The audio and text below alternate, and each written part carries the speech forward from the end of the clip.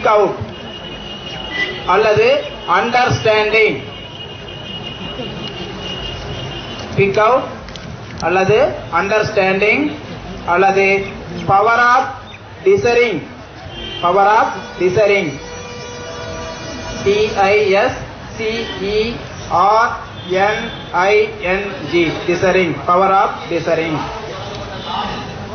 இந்த நுண்ணறிவு என்ற சொல்லை முதன் முதலில் உருவாக்கியவர் அல்லது பயன்படுத்தியவர் சிசரோ. சிசரோ. நுண்ணறிவு என்ற வார்த்தையை முதன் முதலில் உபயோகப்படுத்தியவர் அல்லது பயன்படுத்தியவர் சிசரோ.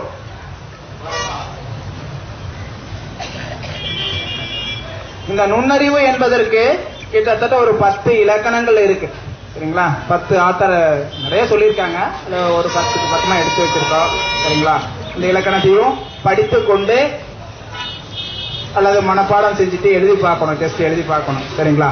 சரி. இப்போ நுண்ணறிவினுடைய கோட்பாடுகள் தியரிஸ் ஆஃப் இன்டெலிஜென்ட் நுண்ணறிவினுடைய கோட்பாடுகள்.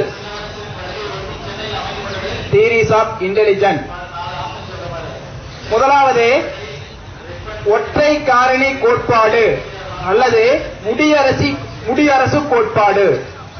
ஒற்றை காரணி கோட்பாடு அல்லது முடியரசு கோட்பாடு. Unitary or single factor or monarch theory unitary or single factor or monarch theory Mudiyarasu கொள்கை. இது ஏற்கனவே கேட்கப்பட்ட வினா. ஒற்றை காரணி கோட்பாட்டுக்கு இன்னொரு பெயர் முடியரசு கொள்கை.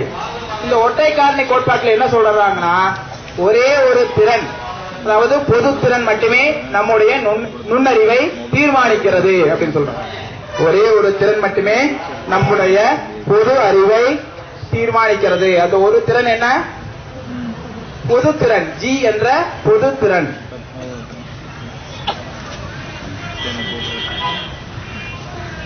ஜி என்ற பொது திறன்.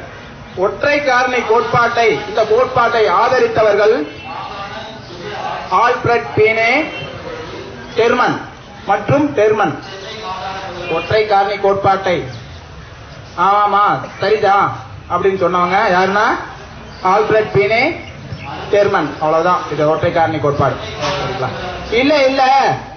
நம்முடைய நுண்ணறிவை இரண்டு காரணிகள் தீர்மானிக்கிறது அப்படின்னு சொல்லி இதனை எதிர்த்து இரு காரணி கொள்கை அல்லது இரட்டை காரணி கோட்பாடு.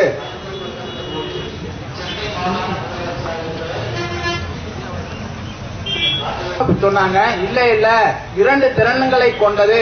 அப்படின்னு இரட்டை காரணி கோட்பாடு உருவாச்சு. இரட்டை காரணி கோட்பாடு அல்லது சமரச கொள்கை. Two factor theory or eclectic theory இரட்டை காரணி கோட்பாட்டுக்கு இன்னொரு பெயர் சமரச கொள்கை. இதனை கூறியவர் ஆயிரத்தி தொள்ளாயிரத்தி நாலுல சார்ல அப்படிங்கிறவர் ஆயிரத்தி தொள்ளாயிரத்தி நாலுல இந்த கோட்பாட்டை கூறினார். கொண்டு வாங்க பார்க்கலாம். ஆயிரத்தி தொள்ளாயிரத்தி நாலுல இந்த கோட்பாட்டை கூறினார். அப்போ நுண்ணறிவு என்பது இரண்டு காரணிகளால் ஆனது அப்படின்னு சொல்றாரு. அந்த இரண்டு காரணிகள் என்ன அப்படின்னா ஜி என்ற பொது காரணி எஸ் என்ற சிறப்பு காரணி. G denote general factor S denote special factor G என்ற பொது காரணி எஸ் என்ற சிறப்பு காரணி. அப்ப ஜி என்ற பொது காரணியை தீர்மானிப்பது அல்லது நிர்ணயிப்பது மரபு. ஜி என்ற பொது காரணியை தீர்மானிப்பது எதுங்க? மரபு. எஸ் என்ற சிறப்பு காரணியை தீர்மானிப்பது நாட்டம். நம்முடைய இன்ட்ரெஸ்ட் ஆர்வம். இந்த பொது காரணி அப்படின்னு பாத்தீங்கன்னா எல்லாத்திட்டையும் இருக்கும். சரிங்களா? ஒரு மெக்கானிக் இருக்கார். அவர் வண்டியை பிரிச்சு அப்படியே மேய்வார்.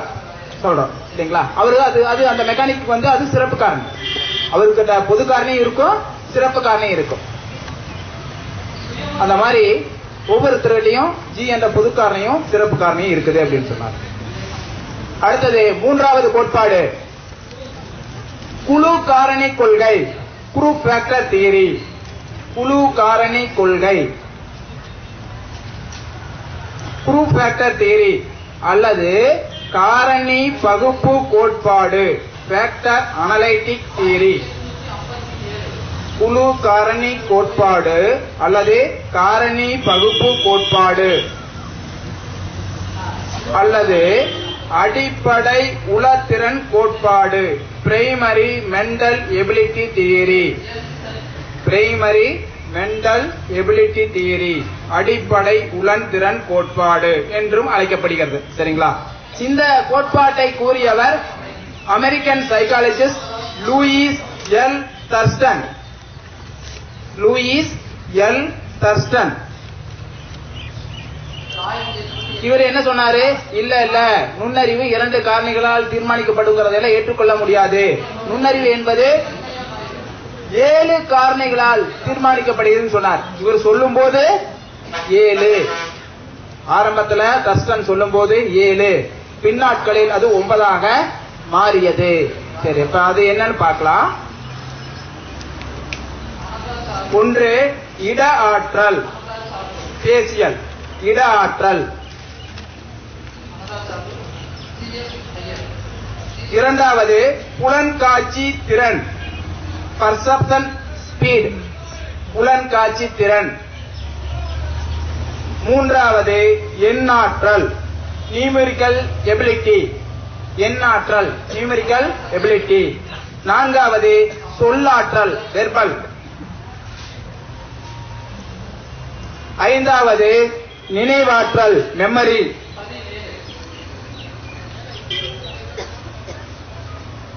ஆறாவது சொல் வேகத்திறன் சொல் வேகத்திறன் வேர்ட் பிளியன்சி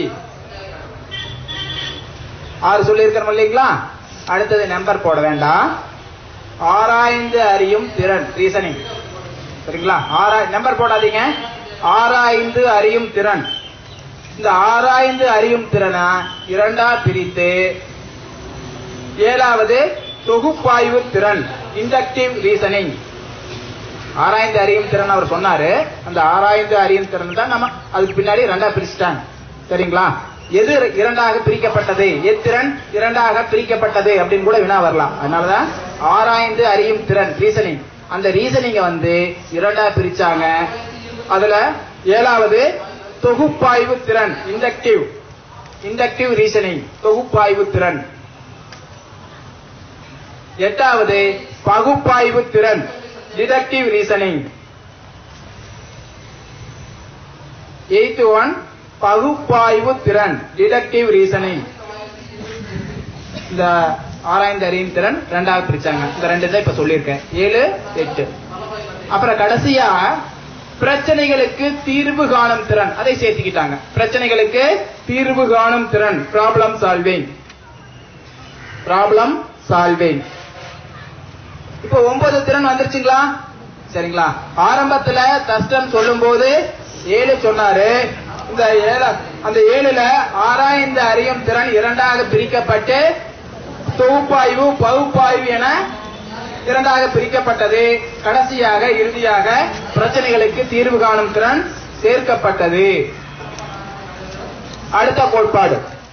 பல காரணி கொள்கை அல்லது குடியரசு கொள்கை. Multi factor theory or atomistic or anarch theory பல காரணி கொள்கை. அல்லது இதுக்கு இன்னொரு பேரு குடியரசு கொள்கை. அங்க முடியரசு ஒண்ணு பார்த்தோம் முதல்ல. சரிங்களா? இது என்னது? அது முடியரசு இது குடியரசு. அதுக்கு ஆப்போசிட் இதை கூறியவர் American psychologist Edward Lee Thorndike shortly called E L Thorndike நம்ம தாண்டைக்கு தானுங்க. சரிங்களா? நம்ம தாண்டைக்கு சரி நிறைய இடத்துல வருவார் இல்லையா? அதனால நம்ம தாண்டைக்கு சார் இவர் வந்து நுண்ணறிவை அளவிடுவதற்கு நுண்ணறிவை அளவிடுவதற்கு ஒரு டெஸ்ட் கண்டுபிடிச்சார். அந்த டெஸ்ட் எல்லாமே கேப்ஸ்ல எழுதிக்கலாம்.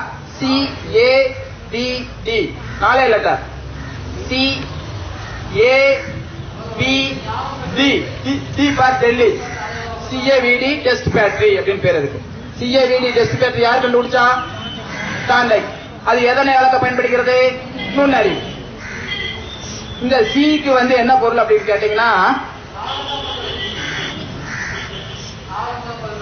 கம்ப்ளீஷன் சி அதனுடைய விரிவாக்கம். சிக்கு அதனுடைய abbreviation completion C O M P L E T I O N completion A ஏக்கு வந்து arithmetic arithmetic V vocabulary D direction completion arithmetic vocabulary and direction இந்த சோதனையில லெவல் ரேஞ்ச் ஏரியா ஸ்பீடு நாலு கூறுகள் இருக்கு. நான்கு பிரிவுகள் இருக்கு. என்ன எத்தனை என்னது? Level range area speed level range area speed நாலு பிரிவுகள் இருக்கு. லெவல் ரேஞ்ச் ஏரியா ஸ்பீடு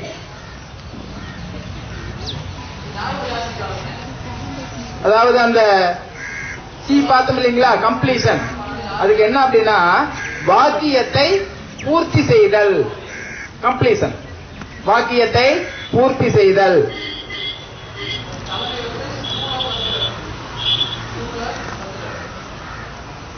இரண்டாவது ஏக்கு. அர்த்தமெட்டிக் சொன்னோம் இல்லைங்களா? அது எண் கணக்குகள் தொடர்பாக ஆராய்ந்து அறிதல். எண் கணக்குகள் தொடர்பாக ஆராய்ந்தறிதல். டி vocabulary நம்மளுக்கு தெரியும். சொற்களஞ்சியம். Vocabulary சொற்களஞ்சியம். நான்காவது டைரக்ஷன் சொன்னோம். அது கட்டளைகளை நிறைவேற்றுதல். கட்டளைகளை நிறைவேற்றுதல்.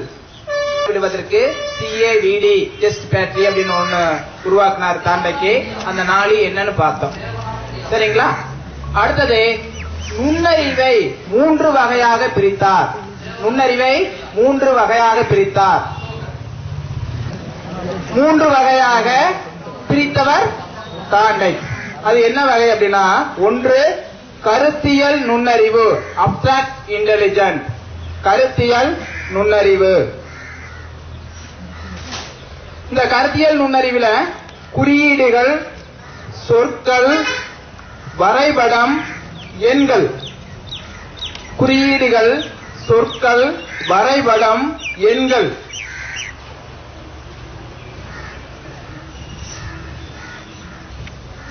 இவற்றிற்கு இடையேயான தொடர்பை அறிந்து பிரச்சனைகளை தீர்த்தல். குறியீடுகள் சொற்கள் வரைபடம் எண்கள். இவற்றிற்கு இடையே உள்ள பிரச்சனைகளை அறிந்து தீர்த்தல். கருத்தியல் நுண்ணறிவு. இரண்டாவது வகை பொறியியல் நுண்ணறிவு மெஷின் இன்டெலிஜென்ட் பொறியியல் நுண்ணறிவு மெஷின் இன்டெலிஜென்ட் இந்த பொறியியல் நுண்ணறிவினுடைய விளக்கம் பல்வேறு இயந்திரங்களை வடிவமைத்து திறமையாக கையாளும் திறன். பல்வேறு இயந்திரங்களை வடிவமைத்து திறமையாக கையாளும் திறன்.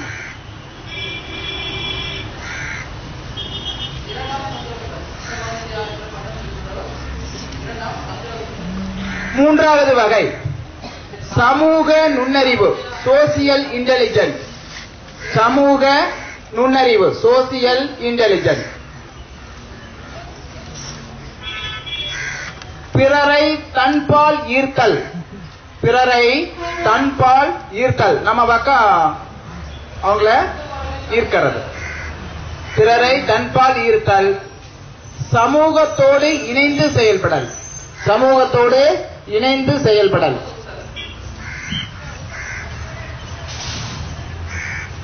இப்படி தாண்டைக்கு வந்து நுண்ணறிவை மூன்று வகைகளாக பிரித்தார்.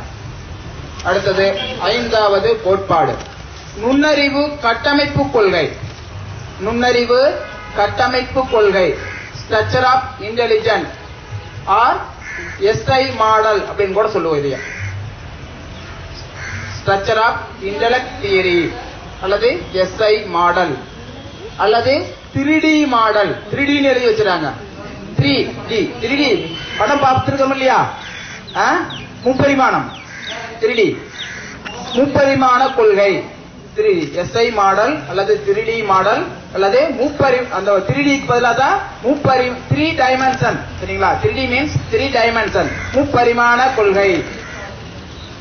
இதை கூறியவர் Joy Paul Guilford. Joy J O Y Joy Paul P A U L Paul Guilford அல்லது shortly called J P Guilford. American psychologist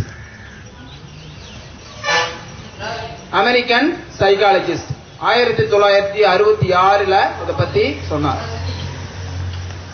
அப்ப இதுல த்ரீ டி த்ரீ டி இருக்கு இல்லைங்களா? அந்த த்ரீ டி என்ன அப்படின்னு கேட்டீங்கன்னா செயல் ஆபரேஷன் இப்ப மூணு காலம் போட்டுக்கலாங்க. நீங்க எழுதுற நோட்ல மூணு காலம் அந்த நோட்டு ஒரு பேஜ்ல மூணா பிரிச்சுக்குங்க. மூணு காலம். சும்மா ஒரு அஞ்சு அல்லது ஆறு வரி எழுதுற அளவுக்கு போதும். மூணு காலம் போட்டுக்கலாம். முதல் காலத்துல ஆபரேஷன் செயல். இரண்டாவது காலத்துல கண்டன் பொருள். கண்டன் பொருள். மூன்றாவது காலத்துல விளைவு ப்ராடக்ட் இதுல இருந்து ஒரு கொஸ்டின் வந்திருந்தது. சரிங்களா? விளைவு ப்ராடக்ட் இது வந்து தலைப்பு. அப்ப இது மூணு இது இது மூணு தான் என்ன சொல்ற த்ரீ டி த்ரீ டைமென்சியல் அப்படின்னு சொல்றோம். செயல் பொருள் விளைவு. இந்த மூணையும் பெருக்கணும்னா அவர் சொன்ன திறன் நமக்கு கிடைச்சிடும் சரிங்களா? மூன்றையும் பெருக்கணும்னா அவர் சொன்ன திறன் நமக்கு கிடைச்சிடும் இந்த கில்போர்டு வந்து ஆரம்பத்துல கூறும்போது நூத்தி இருபது திறன்களாக இருந்தது. சரிங்களா? ஆரம்பத்துல எத்தனை திறன்? நூத்தி இருபது. பின்னாட்களில் அது நூத்தி ஐம்பதாக மாறியது. அதுக்கப்புறம் அது எவ்வளவு ஆச்சுங்க? நூத்தி ஐம்பது. தற்போது நூத்தி எண்பது. தற்போது நூத்தி எண்பது. நூத்தி இருபது நூத்தி ஐம்பது நூத்தி எண்பது. அட் பிரசன்ட் ஒன் எயிட்டி அப்ப அந்த செயல்ல முதல்ல செயல்ல ஒண்ணு நம்பர் ஒன் அறிதல் காக்னிஷன் அறிதல். பொருள் கா- இரண்டாவது காலத்துல பொருள் சாரி இரண்டாவது பொருள் காலத்துல முதலாவது உருவம். ஃபிகர் மூன்றாவது விளைவு காலத்துல அழகு யூனிட் அறிதல் உருவம் அழகு. ஃபர்ஸ்ட் காலம் செகண்ட் காலம் தேர்ட் காலம் நம்பர் ஒன் நம்பர் டூ நினைவு பதித்தல் மெமரி ரெக்கார்டிங் மெமரி ரெக்கார்டிங் நினைவு பதித்தல். இரண்டாவது காலம் ஒலி சவுண்ட் மூன்றாவது காலம் வகைகள் கிளாசஸ்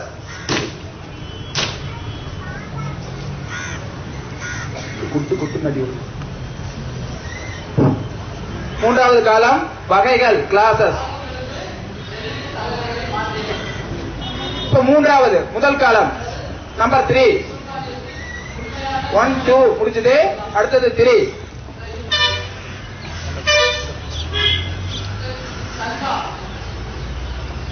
நம்பர் த்ரீ தக்க வைத்தல். மெமரி ரீடென்ஷன் மெமரி ரீடென்ஷன் தக்க வைத்தல். இரண்டாவது காலம் குறியீடு. இரண்டாவது காலம் குறியீடு. சிம்பிள் மூன்றாவது காலம் தொடர்புகள். ரிலேஷன் தொடர்புகள். நான்காவது விரி சிந்தனை. நம்பர் போர் கால ஒன்னாவது காலத்துல நம்பர் போர் பிரி சிந்தனை டைவர்ஜன் திங்கிங் இரண்டாவது காலம் சொல். மூன்றாவது காலம் ஒழுங்கமைப்புகள் systems ஒழுங்கமைப்புகள்.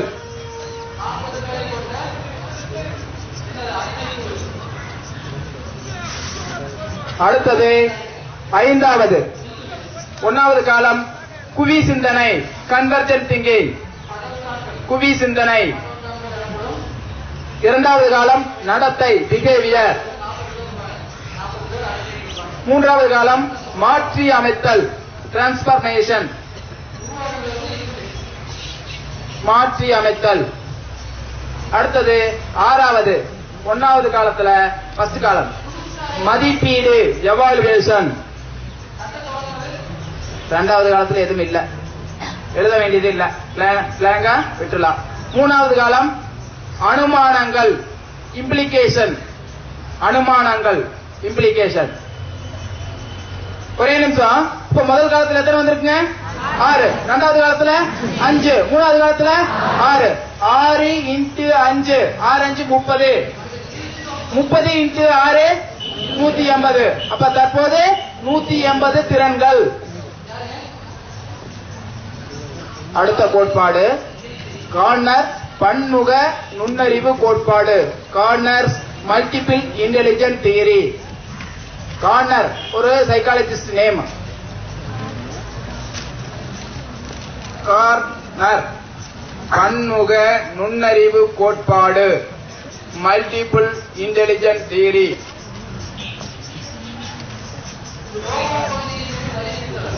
American psychologist Howard Gardner H O W A R D Howard H O W A R D Howard Gardner G DNER D Gardner இந்த ஹவார்ட் கார்னர் ஆயிரத்தி தொள்ளாயிரத்தி எண்பத்தி மூணுல மனத்திற்பங்கள் பன்முக நுண்ணறிவு கோட்பாடு. மன மனத்திற்பங்கள் பன்முக நுண்ணறிவு கோட்பாடு. Streams of mind the theory of multiple intelligent frames of mind the theory of multiple intelligent அப்படிங்கிற புத்தகத்தை எழுதினார். அந்த புத்தகத்துல எட்டு வகையான நுண்ணறிவை விளக்கினார். எட்டு வகை நுண்ணறிவு இருக்கு அப்படின்னு சொன்னாரு. எட்டு வகையான நுண்ணறிவை விளக்கினார். அந்த எட்டு வகை ஒன்று மொழியியல் நுண்ணறிவு லிங்குஸ்டிக் இன்டெலிஜென்ட் மொழியியல் நுண்ணறிவு ஆறிட்டு இருக்குன்னா சொற்களை கையாளும் திறன். அதனை குறிக்கிறது. சொற்களை கையாளும் திறனை குறிக்கிறது. இரண்டு இரண்டாவது வகை. தர்க்க ரீதியான கணித நுண்ணறிவு. தர்க்க ரீதியான கணித நுண்ணறிவு. Logical mathematical intelligent logical mathematical intelligent தர்க்க ரீதியாக சிந்திப்பதையும் எண்களை கையாளும் திறனையும் குறிக்கிறது. தர்க்க ரீதியாக இந்த இந்த நுண்ணறிவு வந்து தர்க்க ரீதியான தர்க்க ரீதியாக சிந்திப்பதையும் எண்களை கையாளும் திறனையும் குறிக்கிறது. இந்த ஒரு பசில்ஸ் வரும் இல்லைங்களா பேப்பர்ல எல்லாம்? ஜூடோவா சொடுக்கு சொடுக்கு. சரிங்களா? சொடுக்கு. அதையெல்லாம் டக்கு டக்குன்னு பில்லப் பண்ணுவாங்க ஒரு சிலர். அவங்க கிட்ட இது இருக்குதுன்னு நினைச்சுக்கங்க.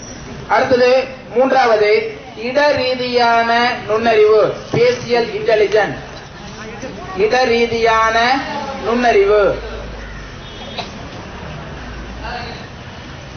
இது யாருகிட்ட இருக்கும்? சிற்பிகள் பொறியாளர்கள் ஓவியர்கள் இவர்களிடம் காணப்படும். சிற்பிகள் பொறியாளர்கள் ஓவியர்கள். ஒருவேளை தலகலாம் கூட கேட்கலாம்.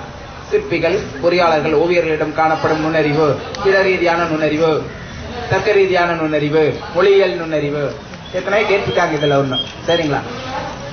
அடுத்தது நான்காவது உடல் வல்லமை நுண்ணறிவு. உடல் வல்லமை நுண்ணறிவு.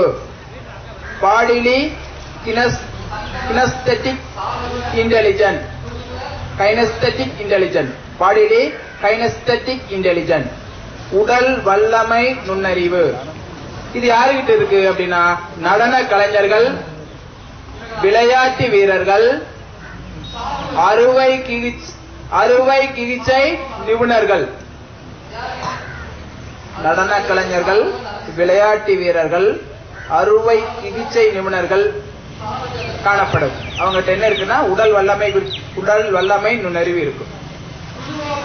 நம்ம பிரபுதேவாவை நினைச்சுக்கங்களேன்? சரி. அடுத்தது ஐந்தாவது இசை நுண்ணறிவு. மியூசிக்கல் இன்டெலிஜென்ட் இசை நுண்ணறிவு. மியூசிக்கல் இன்டெலிஜென்ட் இசை ஞானம் உள்ளோரிடம் காணப்படும். இசை ஞானம் உள்ளோரிடம் காணப்படும்.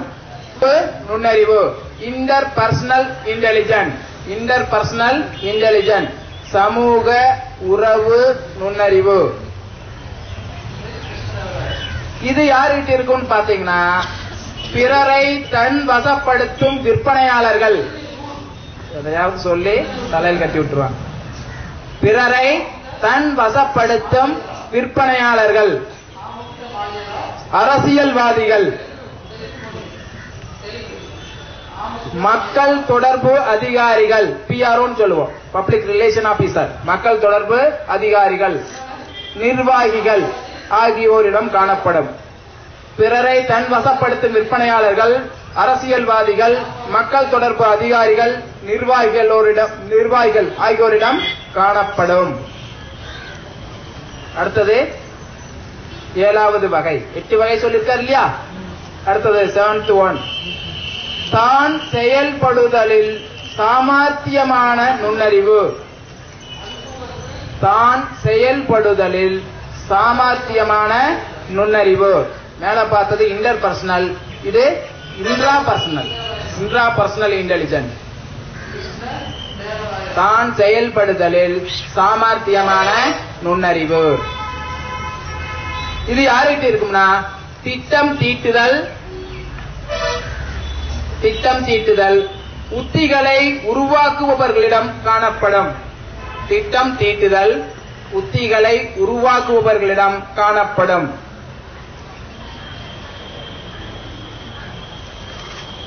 லாஸ்ட் ஒன் இயற்கையை புரிந்து கொள்ளும் நுண்ணறிவு. இயற்கையை புரிந்து கொள்ளும் நுண்ணறிவு. நேச்சுரலிஸ்ட் இன்டெலிஜென்ட் இது யாருகிட்ட இருக்கு அப்படின்னு பார்த்தீங்க? தோட்டக்கலை வல்லுநர்கள் கவிஞர்கள் தோட்டக்கலை வல்லுநர்கள் சுற்றுச்சூழல் சுற்றுச்சூழல் ஆர்வலர்கள். கவிஞர்கள் தோட்டக்கலை வல்லுநர்கள் சுற்றுச்சூழல் ஆர்வலர்கள். நம்ம மேதாபட்கர் மாதிரி. சரிங்களா? அப்போ அமெரிக்கை அமெரிக்காவை சார்ந்த ஹவார்ட் கார்னர் எட்டு வகையான நுண்ணறிவை சொல்லியிருக்கார். அடுத்த வகை அடுத்த தேரி. கெட்டேல் நுண்ணறிவு கோட்பாடு. கேட்டில் அல்லது கெட்டேல் தியரி ஆஃப் இன்டெலிஜென்ட் அமெரிக்காவை சார்ந்த கெட்டேல். ஆயிரத்தி தொள்ளாயிரத்தி அறுபத்தி மூணுல நுண்ணறிவு இரு மனத்திறன்களால் ஆனது அப்படின்னார். American psychologist Cattell C A C T E L L அமெரிக்காவை சார்ந்த உளவியல் அறிஞர் கெட்டேல் ஆயிரத்தி தொள்ளாயிரத்தி அறுபத்தி மூணுல நுண்ணறிவு இரு மனத்திறன்கள் ஆல் இரு மனத்திறன்களால் ஆனது அப்படின்னார். நம்ம சேர்மேன் மாதிரி. அந்த இரு திறன்கள் என்ன அப்படின்னு பார்த்தா ஒன்று மரபு வழி நுண்ணறிவு. Fluid intelligent F L U D D. Intelligent மரபு வழி நுண்ணறிவு. இந்த மரபு வழி நுண்ணறிவு பெற்றோரிடமிருந்து நம்முடைய மூதாதையரிடமிருந்து ஜீன்கள் வழியாக நமக்கு வருது. சரிங்களா? நமக்கு தெரியும். ஒரு கரு இரட்டையர் இருகரு இரட்டையர்லயே பார்த்தோம். அப்போ இந்த மரபு வழி நுண்ணறிவு ஒருவருடைய வயது கூடும்போது குறையும். சரிங்களா?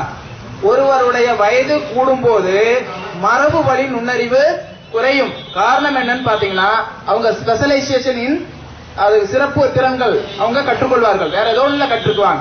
அப்போ சிறப்பு திறன்கள் அதிகமாயிரும். சரிங்களா? மரபு வழி நுண்ணறிவு நம்ம பெற்றோரிடமிருந்து பெறப்படுகிறது. வயது கூட கூட மரபு வழி நுண்ணறிவு குறையும். இரண்டாவது அனுபவ வழி நுண்ணறிவு கிரிஸ்டலைஸ் இன்டெலிஜென்ட் அனுபவ வழி நுண்ணறிவு. அனுபவம். அப்ப அனுபவம் என்பது ஒருவருடைய வாழ்க்கையில் வாழ்நாள் முழுவதும் சேகரித்து வைக்கப்படுகிறது. சரிங்களா சேவ் பண்றோம். ஒவ்வொரு நாளும் ஒவ்வொரு எக்ஸ்பீரியன்ஸ் ஒவ்வொரு நாளும் ஒவ்வொரு எக்ஸ்பீரியன்ஸ் அப்ப அனுபவம் ஒவ்வொரு நாளும் நமக்கு கிடைச்சிட்டே தான் இருக்கு. இந்த அனுபவத்தை எல்லாம் நாம சேவ் சேவ் பண்ணி வைக்கிறோம். அப்ப இது என்ன ஆகுது அப்படின்னா வயது கூடும் போது அனுபவ வழி நுண்ணறிவு கூடும். வயது கூடும் போது கூடும். இப்படி ரெண்டு வகையை சொன்னார். யாரு? கேட்டல். அடுத்த கோட்பாடு. வெர்னனின் நுண்ணறிவு அடுக்கு நிலை கோட்பாடு. Vernon's hierarchical theory of intelligent hierarchical theory of intelligent Vernon Vernon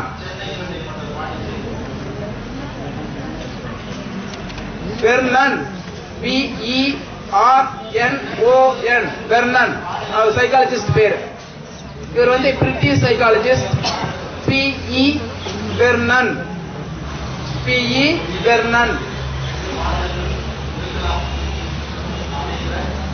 இவர் வந்து நுண்ணறிவை வளரும் மரத்திற்கு ஒப்பிடுகிறார். வளரும் மரத்திற்கே ஒப்பிடுகிறார். நுண்ணறிவை வளரும் மரத்திற்கு ஒப்பிட்டவர் பெர்னன்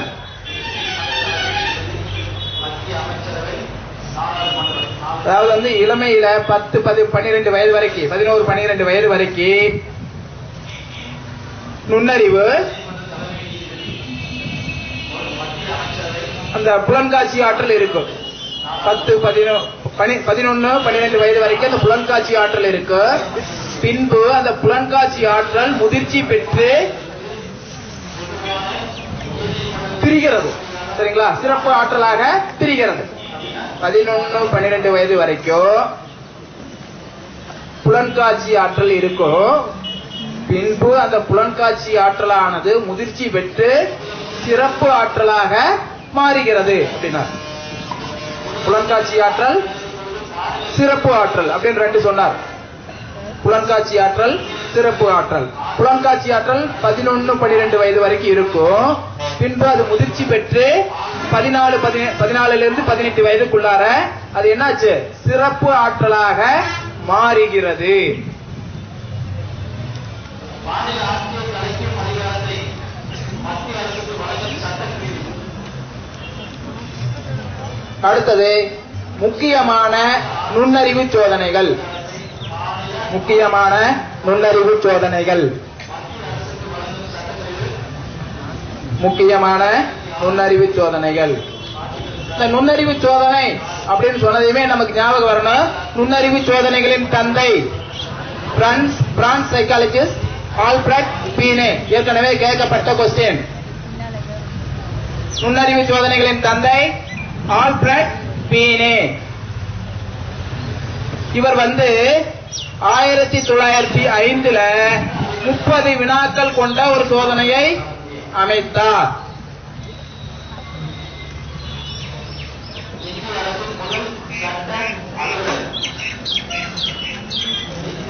ஆயிரத்தி தொள்ளாயிரத்தி ஐந்துல முப்பது வினாக்கள் கொண்ட ஒரு நுண்ணறிவு சோதனையை அமைச்சார். இவர் தான் ஃபர்ஸ்ட் ஃபர்ஸ்ட் அதனாலதான் இவரை நுண்ணறிவு சோதனைகளின் தந்தை அப்படின்னு சொல்றோம்.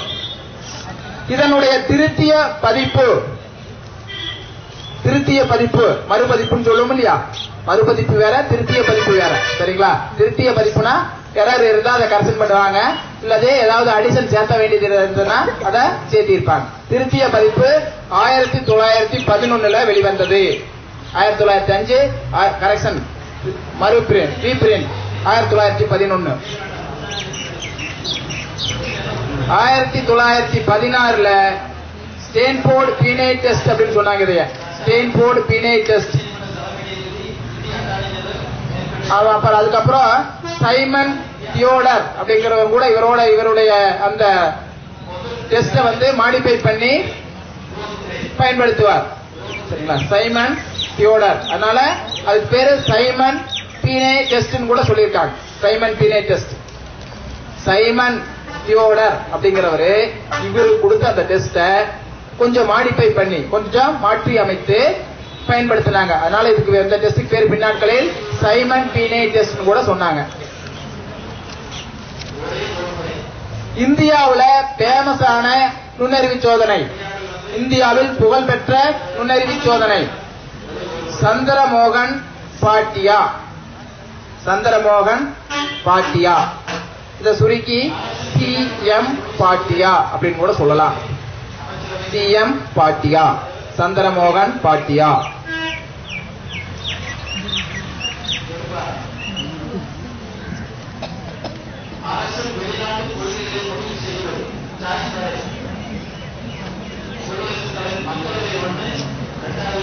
இந்த சந்திரமோகன் பாட்டியா டெஸ்ட்ல ஐந்து துணை சோதனைகள் இருக்கிறது.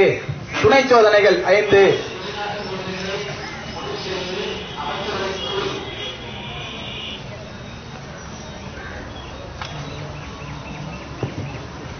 அதுல ஐந்து என்ன அப்படின்னு கேட்டா ஒண்ணு கோ என்பாரது கட்டை துண்டு சோதனை. Koh block test psychology lab யாராவது போயிருந்தீங்கன்னா அது செஞ்சிருக்கலாம். இருக்கு எல்லா பக்கமும் இருக்கு. மேக்சிமம் சைக்காலஜி லேப் பூட்டியே இருக்கு. ஏதாவது ஒன் ஆர் டூ காலேஜில் ஓபன் பண்ணி காட்டிடுறாங்க சரிங்களா? கோ என்பாரது கட்டை துண்டு சோதனை. கோக் பிளாக் டெஸ்ட் இரண்டாவது உடனடி நினைவாற்றல் சோதனை. இமிடியேட் மெமரி டெஸ்ட் உடனடி நினைவாற்றல் சோதனை.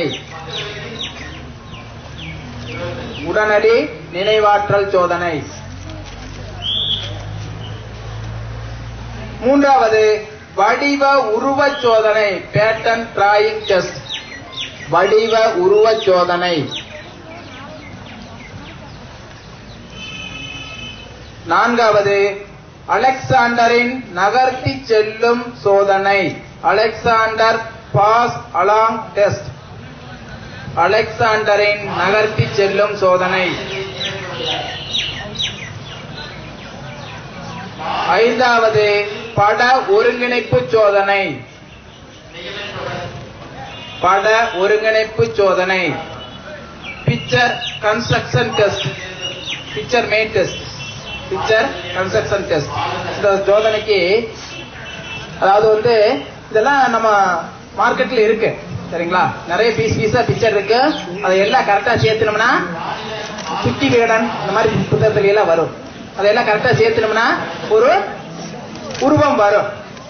ஜோக்கா சொல்லுவாங்க இவ்வளவு கஷ்டமான பிக்சரை எப்படி உடனே சேர்த்தின உடனே சதனா சேர்த்தின? அப்படின்னு ஒரு ஸ்டூடெண்ட்ஸ் கேட்டா அந்த ஸ்டூடெண்ட் சொன்னானாமா பின்னாடி ஒரு நடிகை படம் இருந்தது அதனாலதான் ஈஸியா சேர்த்திட்டேன்.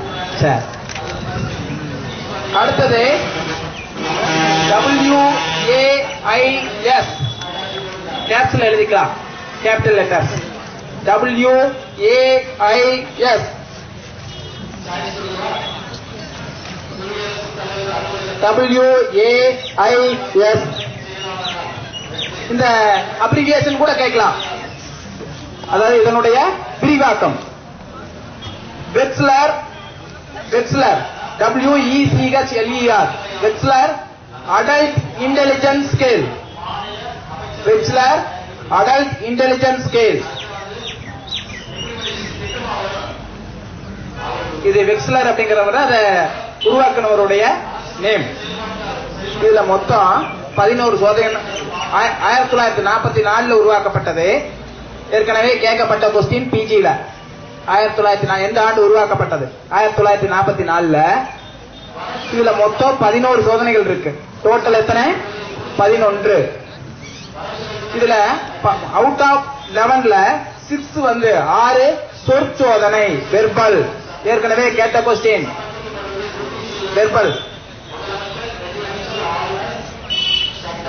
ஐந்து வந்து பர்ஃபார்மன்ஸ் டெஸ்ட் அது வந்து செயல் சோதனை செய்யறது. வெர்பல்னா ஏதாவது எழுதுறது சொல்றது வாய் வழியா. மொழிகளை பயன்படுத்துதல். வெர்பல் மீன்ஸ் மொழிகளை பயன்படுத்துதல்.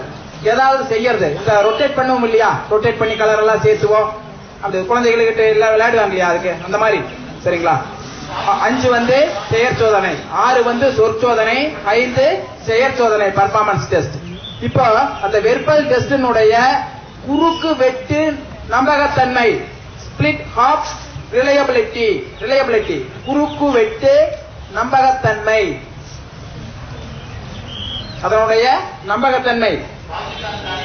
Zero point nine three. Zero point nine three. Zero point nine three.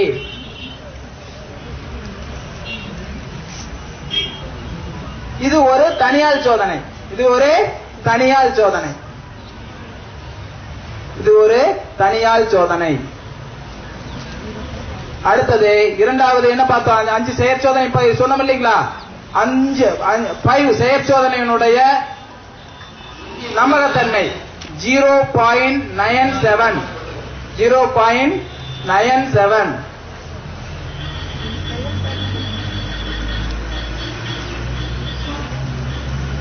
இந்த P A I S test வந்து பத்து முதல் அறுபது வயது வரை உள்ள உள்ளோரினுடைய நுண்ணறிவை அளக்க பயன்படுகிறது.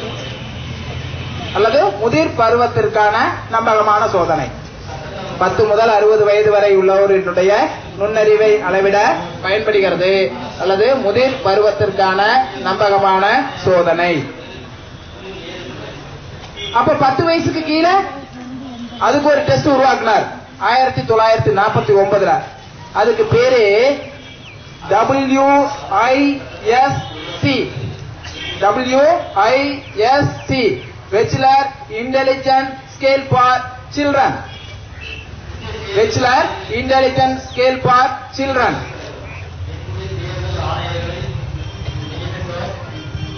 இது இல்லாம இன்னும் நிறைய டெஸ்ட் இருக்கு. சரிங்களா? இது இல்லாம இன்னும் நிறைய டெஸ்ட் இருக்கு. அதுல குறிப்பா அமெரிக்காவுல முதல் உலக போரின் போது ராணுவத்திற்கு ஆள் எடுத்தாங்க. ஆள் பற்றாக்குறையா இருந்தது. இப்ப ஆள் எடுத்தாங்க. அப்போ அங்க வந்து ரெண்டு டெக்னிக் ஃபாலோ பண்ணாங்க. படிச்சவங்க படிக்காதவங்க. படிச்சவங்களுக்கு அதாவது வந்து மொழி அறிவு உடையோருக்கு. சரிங்களா? மொழி அறிவு உடையோருக்கு. Army alpha test army alpha test இந்த டெஸ்ட் ரெண்டையுமே உருவாக்குனது யார் அப்படின்னு கேட்டீங்கன்னா R M Yerkes army alpha test army beta test இந்த ரெண்டு டெஸ்டையுமே உருவாக்கியவர் R M Yerkes R M Yerkes Y E R K E S R M Yerkes மொழி அறிவு உடையோருக்கு ஆர்மி ஆல்பா டெஸ்ட் மொழி அறிவு அற்றவர்களுக்கு army beta test B E T A beta test. இப்ப பீட்டா டெஸ்ட் எப்படி இருந்திருக்கும் ஏதாவது செய்யற மாதிரி இருந்திருக்கும். படத்தை கொடுத்து அதாவது ஏதோ ஒண்ணு கொடுத்து கட்டைகளை கொடுத்து பொருள்களை கொடுத்து ஏதாவது ஒன்று செய்யற மாதிரி இருந்திருக்கும். அடுத்தது நுண்ணறிவு ஈவு. ஐக்கியூ இன்டெலிஜென்ட் கோசன் ஐக்கியூ இந்த ஐக்கியூ வந்து இன்டெலிஜென்ட் கோசன் அப்படிங்கிற சொல்லை ஆயிரத்தி தொள்ளாயிரத்தி பதினாறுல Stern William Stern STERN William Stern பயன்படுத்தினார். இப்ப நுண்ணறிவு ஈவு என்ற சொல்லை முதல் முதலில் பயன்படுத்தியவர் வில்லியம் ஸ்டெர்ன். ஆனா இந்த நுண்ணறிவு ஈவு கண்டுபிடிப்பதற்கான formula mental age divided by chronological age into hundred மன வயது divided பை கால வயது இன்டு ஹண்ட்ரட் அப்படிங்கிற பார்முலாவை பயன்படுத்தியவர் டெர்மன் டிஇஆர் எம்ஏஎன் டெர்மன் ஒருவேளை கால்குலேஷன் கொடுத்து போடுற மாதிரி கூட வரலாம். சரிங்களா? ஐக்கியூ எப்படி கண்டுபிடிக்கிறது ஐக்கியூ எப்படி கண்டுபிடிக்கிறது அப்படின்னா மன வயது டிவைடட் பை கால வயது இன்டு ஹண்ட்ரட் மன வயதுங்கிறது வேற ஒண்ணும் கிடையாது. அஞ்சாவது படிக்கிற குழந்தை குழந்தைக்கு பத்து வயசு இருக்கு. சரிங்களா? பத்து வயசு இருக்குமா? அவ ஆறாவது பாடத்து புத்தகத்தையும் இருக்கிற சம்ம போட்டுட்டான் ஏழாவது பாட புத்தகத்தையும் இருக்கிற மேக்ஸ்ல இருக்கிற சமயம் போட்டுட்டான் அப்ப அவனுடைய மன வயது பனிரெண்டு. சரிங்களா? பனிரெண்டு. அவனுடைய கால வயது பத்து. சரிங்களா? இப்போ இன்ட்டு நூறு போட்டீங்கன்னா சால்வ் பண்ணலாம். சில நேரத்துல சில நேரத்துல மாதங்களில் கொடுக்கப்பட்டிருந்தால் சரிங்களா? ரெண்டையும் மாதத்துக்கு கன்வெர்ட் பண்ணுங்க. அவனுடைய மன வயது அல்லது கால வயதோ ஒன்று ஆண்டுகளில் மற்றொன்று மாதங்களில் கொடுக்கப்பட்டிருந்தால் இரண்டையும் மாதத்துக்கு மாத்துங்க. சரிங்களா? ஒரு வருஷத்துக்கு பண்ணிருக்கமா அதை தெரியும் இல்லைங்களா சரி இப்ப நான் சொல்ல வேண்டியதில்லை. அப்போ இந்த நுண்ணறிவு ஈவு அதுல இருந்து நிச்சயமா ஒரு கொஸ்டின் வர்றதுக்கு வாய்ப்பு இருக்கு. அந்த நுண்ணறிவு ஈவு பரவல் டிஸ்ட்ரிபியூஷன் டிஸ்ட்ரிபியூஷன் பாத்தீங்கன்னா நூத்தி ஐம்பதுக்கு மேல் மேதைகள் ஜீனியஸ் அப்படின்னு சொல்றோம். இது சமூகத்தில் எவ்வளவு இருக்குன்னு பாத்தீங்கன்னா ஒரு சதவிகிதம். நுண்ணறிவு ஈவு நூத்தி நாற்பதோ அதற்கு மேலோ அதற்கு மேலாக இருந்தால் அவங்க என்னன்னு சொல்றோம்? மேதைகள். இவங்க நம்ம நாட்டிலேயோ அல்லது ஒட்டுமொத்த மக்கள் தொகையில் எத்தனை சதவீதம் இருப்பாங்க? ஒரு சதவிகிதம். அடுத்தது நூத்தி இருபது முதல் நூத்தி முப்பத்தொன்பது வரை. நூத்தி இருபது முதல் நூத்தி முப்பத்தி ஒன்பது வரை. மீத்திறன் மிக்கவர்கள். Gifted or very superior gifted or very superior இவங்க சமூகத்தில் எத்தனை சதவீதம் இருப்பாங்க? ஐந்து சதவிகிதம் கிப்டட் அப்படிங்கிற வார்த்தையை முதன் முதலில் பயன்படுத்தியவர் Whipple W I P P L E Whipple gifted அப்படிங்கிற கொடுத்துருக்கோம் இல்லையா? கிப்டட் அல்லது என்ன சொல்றோம்? வெரி சுப்பீரியர் சொல்றோம். இந்த கிப்டட் நீத்திறன் மிக்கவர்கள் அப்படிங்கிற வார்த்தையை முதன் முதலில் பயன்படுத்தியவர் விப்பில் அடுத்தது நூத்தி பத்துல இருந்து நூத்தி பத்தொன்பது வரைக்கும் திறன் மிக்கவர்கள் சுப்பீரியர் நூத்தி பத்து முதல் நூத்தி பத்தொன்பது வரை திறன் மிக்கவர்கள் சுப்பீரியர் இது இவங்க வந்து சமூகத்துல பதினாலு சதவீதம் இருப்பார்கள். பதினான்கு சதவிகிதம் இருப்பார்கள். அடுத்து தொண்ணூறு முதல் நூத்தி ஒன்பது வரை சராசரி ஆவரேஜ் அல்லது நார்மல். இதுக்கு இன்னொரு பேரு நார்மல். இவங்க எத்தனை சதவீதம் இருப்பாங்க? அறுபது சதவீதம். இவங்க தான் அதிகம். அறுபது சதவிகிதம் அடுத்தது எண்பது முதல் எண்பத்தி ஒன்பது வரை. இந்த சராசரி ஏற்கனவே ஒரு தாட்டு கேட்டிருந்தாங்க. கொஸ்டின் சராசரி கேட்டிருந்தாங்க. சரிங்களா? இப்ப நாலு முறை பேப்பர் டூக்கு எக்ஸாம் நடந்திருக்கு. மூன்று முறை பேப்பர் ஒன்னுக்கு நடந்திருக்கு. இந்த ஏழு கொஸ்டின் இருக்கு. ஏழு கொஸ்டின் நம்ம சப்ஜெக்ட் பொறுத்த வரைக்கும் ரெண்டும் ஒண்ணுதான். சைக்காலஜி அப்படின்னா ரெண்டும் ஒண்ணுதான். கிட்டத்தட்ட நைன்டி நைன்டி ஃபைவ் பர்சன்டேஜ் வந்து சேம் தான். அப்ப அந்த ஏழு கொஸ்டின் இருக்கிறத பிங்கர் டிப்ஸ்ல வச்சிருக்கணும். சரிங்களா? என்னடா அடிக்கடி கேட்டிருக்காங்க கேட்டிருக்கான்னு சொன்னா அப்ப எந்த கொஸ்டின் தான் கேட்கல. அப்ப நான் சொல்றது சரியா அப்படின்னு சரிபார்க்கணும் இல்லையா? ரைட் அடுத்தது எண்பது முதல் எண்பத்தி ஒன்பது வரை. அவங்க என்ன சொல்றா? பின்தங்கியவர்கள். பேக்வேர்ட் பின்தங்கியவர்கள். பேக்வேர்ட் அல்லது மெதுவாக கற்போர். ஸ்லோ லேனர்ஸ் மெதுவாக கற்போர். ஸ்லோ லேனர்ஸ் மெதுவாக கற்போர். ஸ்லோ லேனர்ஸ் அப்படின்னு சொல்றோம். இவங்க சமூகத்தில் எத்தனை சதவீதம் இருப்பாங்கன்னா? மந்தமானவர்கள். பார்டர் லைன் எழுபது முதல் எழுபத்தி ஒன்பது வரை மந்தமானவர்கள் பார்டர் லைன் அப்படின்னு சொல்றோம். இவங்க சமூகத்துல எத்தனை சதவீதம் அப்படின்னா? ஐந்து. ஐந்து சதவீதம். இப்போ இந்த மந்தமானவர்களுடைய முன்னறிவு பத்துல இருந்து பன்னிரெண்டு வயதுக்குள்ளார நின்று போகும் அப்படின்னு சொல்றாங்க மந்தமானவர்கள். ஸ்லோ பார்டர் லைன் பார்டர்ல இருக்காங்கன்னு சொல்லலாம் பார்டர் லைன் அந்த மாணவர்கள் சொல்றோம். இவங்களுடைய நுண்ணறிவு வந்து பத்து முதல் பன்னிரெண்டு வயதுக்குள்ளார நின்று போகும் அப்படின்னு சொல்றாங்க. அடுத்து ஐம்பது முதல் அறுபத்தி ஒன்பது வரை பேதையர் மொரன்ஸ்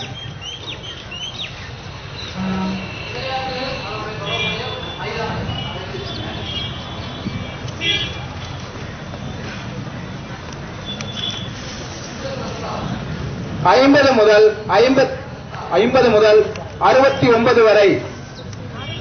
பேதையர் மொரன்ஸ் அடுத்து இருபத்தி நான்கு முதல் நாற்பத்தி ஒன்பது வரை மூடர்கள். இம்பில்ஸ். ஐம்பது முதல் அறுபத்தி ஒன்பது வரை பேதையர். இருபத்தி ஐந்து முதல் நாற்பத்தி ஒன்பது வரை மூடர்கள். அடுத்தது ஜீரோ முதல் இருபத்தி நான்கு வரை. ஜீரோ முதல் இருபத்தி நான்கு வரை. இடியட்ஸ் இடியட்ஸ் இடியட்ஸ் ஜீரோ முதல் இருபத்தி நான்கு வயது வரை. முட்டாள்கள் அப்படின்னு சொல்றோம். இப்ப கடைசியா சொன்னோம் இல்லைங்களா? கடைசியா சொன்னோம் இல்லையா? இந்த மூன்றும் சேர்ந்து சமூகத்துல ஒரு சதவீதம் இருப்பார்கள். ஒரு சதவீதம் இருப்பார்கள். இந்த மூன்றுக்கும் மூன்றுல குறிப்பா இந்த மூன்றுக்கும் காரணம் என்ன அப்படின்னு பாத்தீங்கன்னா மூன்றுக்கு என்ன காரணம்? மூன்றுக்கு என்ன காரணம்? மரபு நிலை. மூன்றுக்கு என்ன காரணம் பார்த்தா மரபு நிலை. நல்ல விதை உண்ணாதான் நல்ல செடி முளைக்கும் சொல்லுவாங்க ரைட் மரபு நிலை. சோ அதனாலதான் நம்முடைய அரசு ரூபெல்லா தடுப்பூசி. எதுக்கு போடுறாங்க தெரியுங்களா? எம்ஆருக்கான தடுப்பூசி அப்படின்னு அதுல விளம்பரத்துல கேட்டீங்களா? என்னங்க டீச்சர் இப்படி இருந்து எப்படி அதுல அம்மை சரிங்களா? அம்மையை தடுக்கிறதுக்கு ஒரு இது இருக்கு. விளம்பரத்துல கவனிச்சு பாருங்க. எம்ஆருக்கான தடுப்பூசி. What is M R mentally retarded மன வளர்ச்சி குன்றியோர் அப்போ ஏதாவது ஒரு ஜீன் நம்மிடம் இருக்கின்ற ஏதாவது ஒரு ஜீன் அந்த டிஸ்லெக்சியாவை உருவாக்கக்கூடிய குணம் படைத்தது. டிஸ்லெக்சியா உருவாக்கக்கூடிய குணம் படைத்தது. அது இனி வந்து நம்முடைய சங்கதிகள் வருகின்ற சங்கதிகள் அப்படி உருவாக்க சங்கதிகளை அவ்வாறு உருவாக்க கூடாது அப்படின்னு தான் அந்த தடுப்பூசி போடுறோம். நல்லா கவனிச்சு பாருங்க விளம்பரத்துல வரும். எம்ஆர் எம்ஆருக்கான தடுப்பூசி. ரைட் சரி இந்த கடைசியா சொன்னோம் இல்லைங்களா? மூன்று வார்த்தைகள். முட்டாள்கள் மூடர்கள் பேதையர். இந்த வார்த்தையை பயன்படுத்தக்கூடாது. வார்த்தையை பயன்படுத்துவது கண்டிக்கத்தக்கது. அப்படின்னு American Psychological Association A P A American Psychological Association சொல்லுச்சு. அப்ப அதுக்கு வேற மாதிரி ஒரு வார்த்தை உருவாக்குனாங்க. வேற மாதிரி ஒரு வார்த்தையை உருவாக்குறாங்க. என்ன வார்த்தை அப்படின்னா கீழிருந்து வந்துடலாம். டோட்டல் கேர் அதாவது வந்து பாதுகாப்போடு பராமரிக்கப்படுபவர். இந்த ஜீரோ டு டுவெண்ட்டி போர் வந்து எந்த வேலையும் செய்ய முடியாது. மற்றவர்கள் உதவியால தான் அவங்க நடமாட முடியும் சாப்பிட முடியும். அதனாலதான் அது என்ன சொல்றாங்க? டோட்டல் கேர் பாதுகாப்போடு. மற்றவர்கள் பாதுகாப்போடு பராமரிக்கப்படுபவர் அப்படின்னு சொல்றாங்க. அடுத்தது இருபத்தஞ்சுல இருந்து நாற்பத்தி ஒன்பது வரைக்கும் மூடர்கள் சொல்றோம். அவங்களுக்கு பயிற்சி அளிக்கத்தக்க வகையில் மன வளர்ச்சி குன்றியோ. ட்ரெயினபிள்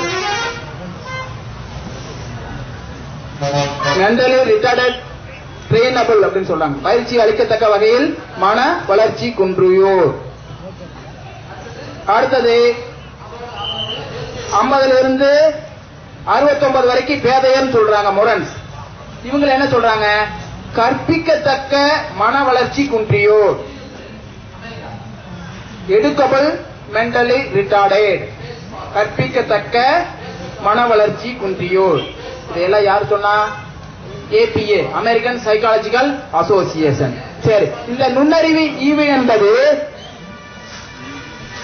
இயல்நிலை பரவல் அப்படின்னு சொல்லுவோம் கோடு தெரியுறவங்க பார்த்தா போதும். இயல்நிலை பரவல். அதாவது வந்து சராசரி. இது வந்து சராசரி. அறுபது சதவீதம் இருக்கும்.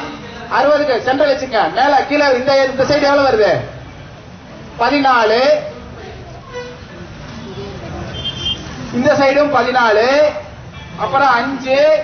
இங்கேயும் அஞ்சு இங்கேயும் ஒண்ணு இங்கேயும் ஒண்ணு. இது ஒரு பெல் சேப்டு கர்வ் கோவில் மணி போல இருக்கும். பெல் சேப்டு கர்வ் அப்படின்னு சொல்லுவோம். இயல்நிலை பரவல். Normal distribution curve normal distribution curve அப்படின்னு சொல்லுவோம். இயல்நிலை பரவல். அதை போட்டீங்கன்னா அந்த பர்சன்டேஜ் போட்டு ஒரு கிராப் போட்டோம்னா சரிங்களா? ஒரு கிராப் போட்டோம்னா அது எப்படி இருக்கும்? கோயில் மணி இருக்கு இல்லைங்களா? கோயில் மணி போல இருக்கும். பெல் சேப் கர்வ் அப்படின்னு சொல்லுவோம். இயல்நிலை பரவல்.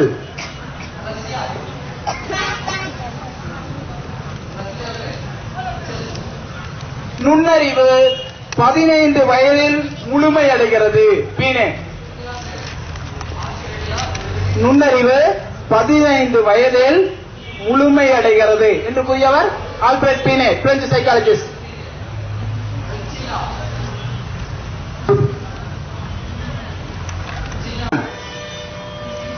நுண்ணறிவு பதினாறு வயது வரை நீடிக்கும் மெரில் மற்றும்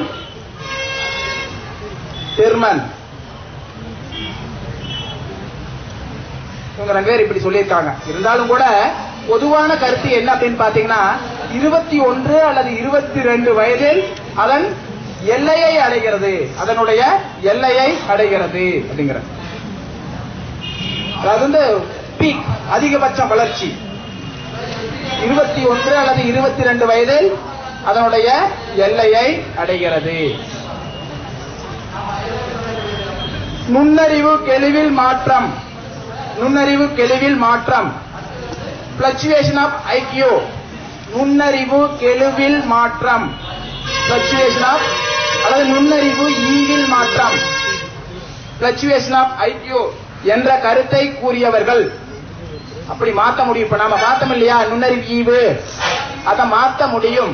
அப்படின்னு சொன்னவங்க யாருன்னு கேட்டீங்கன்னா பெய்லி பெய்லி.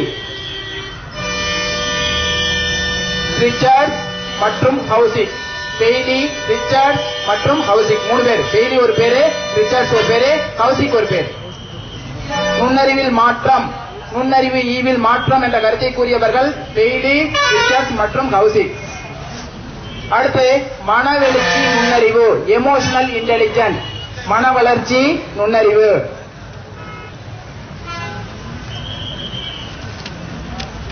இந்த மனவெழுச்சி நுண்ணறிவில் இருந்து ஒரு கொஸ்டின் வந்தது. அமெரிக்காவை சார்ந்த ஜான் மேயர் மற்றும் பீட்டர் சலோவே.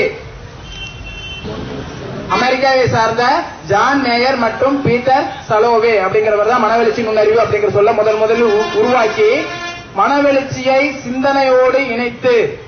மனவெழுச்சியை சிந்தனையோடு இணைத்து. உணர்ந்து அதனை புரிந்து. மனவெழுச்சியை சிந்தனையோடு இணைத்து. உணர்ந்து அதனை புரிந்து.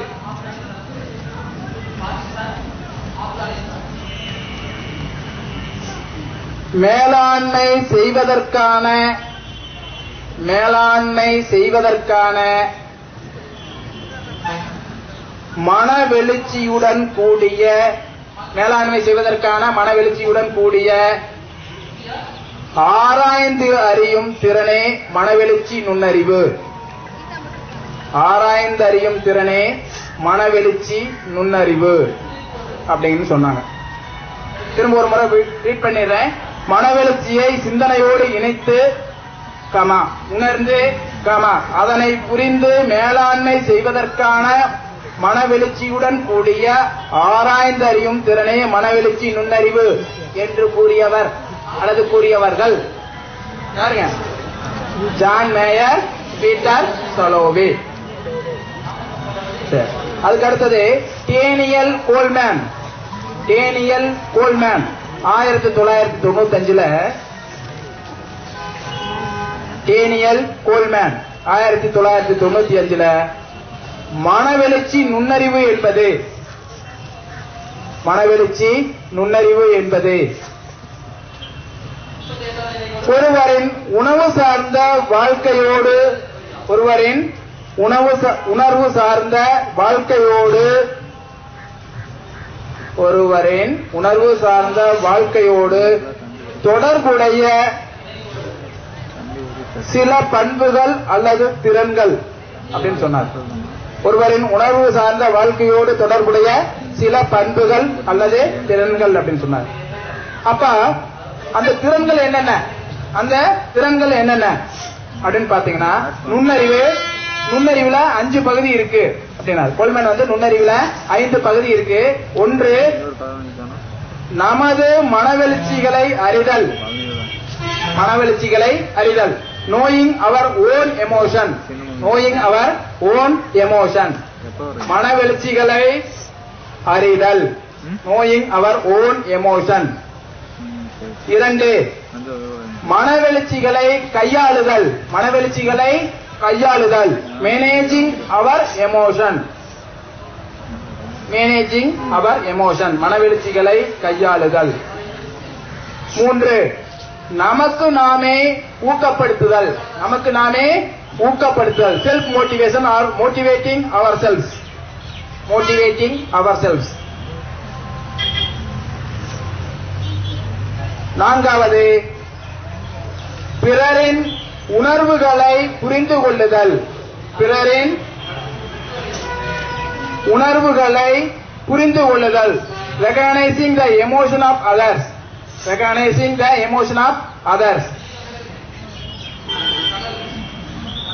கடைசி லாஸ்ட் ஒன் பிறருடன் நன்கு பழகி உறவாடுதல். பிறருடன் நன்கு பழகி உறவாடுதல். Handling interpersonal relationship handling interpersonal relationship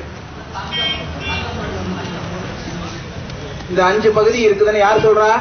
Coleman இவர் என்ன சொல்றாருன்னா இந்த மனவெளிச்சி நுண்ணறிவானது நாம் தேர்வில் மதிப்பெண் பெறுவதற்கு உதவாது.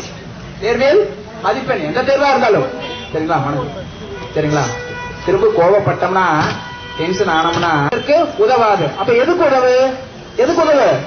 அன்றாட வாழ்க்கையில் அன்றாட வாழ்க்கையிலும் வாழ்க்கை முழுவதும் இடம்பெறக்கூடிய முக்கியமான நுண்ணறிவுங்கிறார்.